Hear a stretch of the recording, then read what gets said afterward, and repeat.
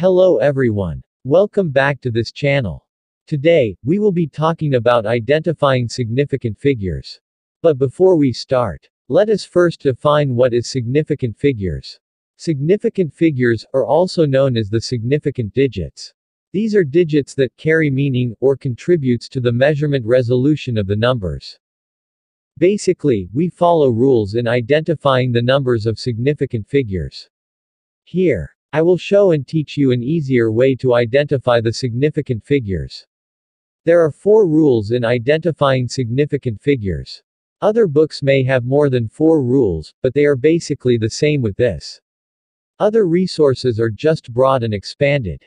Here, I am showing you an easier way in identifying significant figures. The four rules in identifying significant figures are 1. All non-zero figures are significant. 2. All zero, between non-zeros, are significant. 3. Leading zeros are never significant. And 4. Trailing zeros are sometimes significant. In rule number 1, all non-zero figures are significant. Numbers from 1 to 9 are all significant. For example, in 136, there are three significant figures. Since 1, 3 and 6 are all non-zero digits. Another example. In 15,564.52. There are seven significant figures. Since all the digits are all non-zero. In rule number 2. All zeros between non-zero figures are significant. For example, in 10,506. There are five significant figures. 0 between 1 and 5, and the 0 between 5 and 6 are significant figures. Another example. In 700,000.05. There are 8 significant figures. All the zeros are counted since they are in between 7 and 5 digits. In rule number 3, leading zeros are never significant.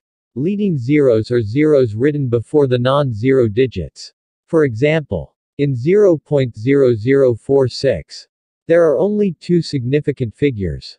4 and 6. Since the three zeros are leading or written before digit 4. Another example. In 0.05607. There are four significant figures. The two leading zeros are not counted but the zero between 6 and 7 is significant. Remember, in rule number 2, all zeros between non-zero are significant. In rule number 4, trailing zeros are sometimes significant. Trailing zeros are zeros written after the non-zero digits. For example, in 1000, there are only one significant figure and the other three zeros are not counted. But in the second digits, there are four significant figures. Trailing zeros are significant if there is a decimal point after it, as long as the leading number is a non-zero digit. Another example. In 0.000560, there are three significant figures. The four leading zeros are not significant based on rule number 3. But the zero after 6 is significant, since it is written after or at the right side of the decimal point after a non-zero digit which is 6. Another example. In 1340.00, there are six significant figures. The three trailing zeros after digit 4 are counted because of the decimal point.